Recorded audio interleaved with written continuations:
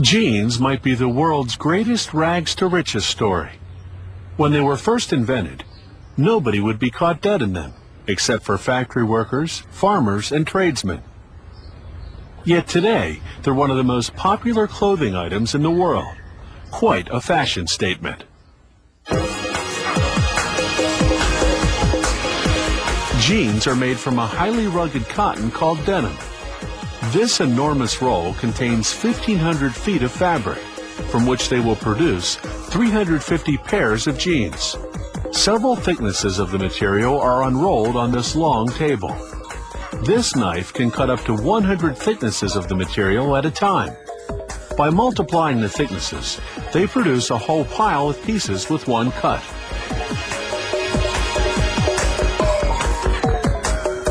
They shape the denim pieces following the cutting patterns.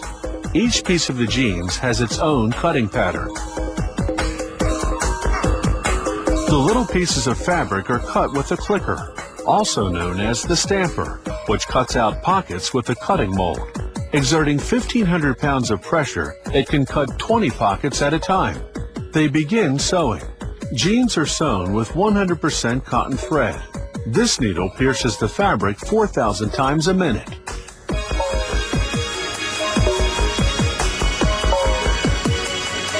Designs are embroidered on the pockets with this machine.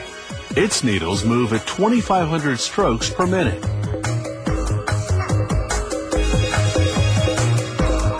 This pocket robot will simultaneously fold, press, and sew a pocket. This machine allows for the installation of 75 pockets in 60 minutes.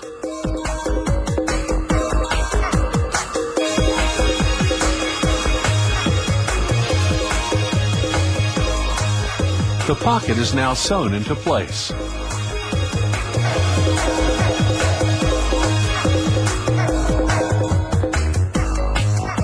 Next step, the buttonhole. This machine sews the contours of the buttonhole and a steel blade comes down to cut the opening. The closing button is positioned.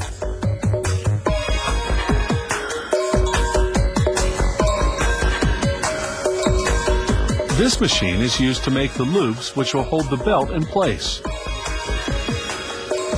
The loops are sewn as usual with cotton thread.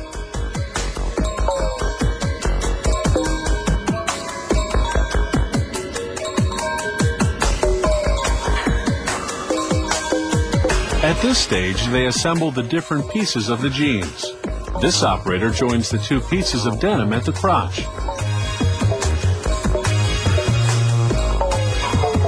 Then she sews it. Then they sew the exterior of the leg. This sewing is done flat with an overcaster which cuts excess material proportionately and to size. Now for the zipper. This machine installs the zipper holdfast and the slide.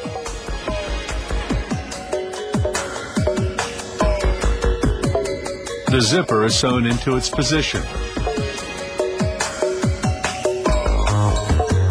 The final sewing step consists of installing the jeans belt, a strip of fabric.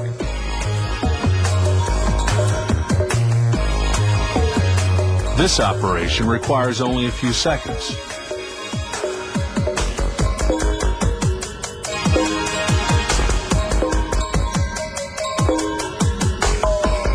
The jeans were made up on the reverse side, so that all stitches would be on the inside when the jeans are worn.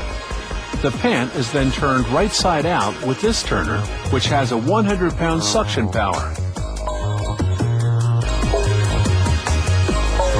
All that now remains is to steam press the jeans.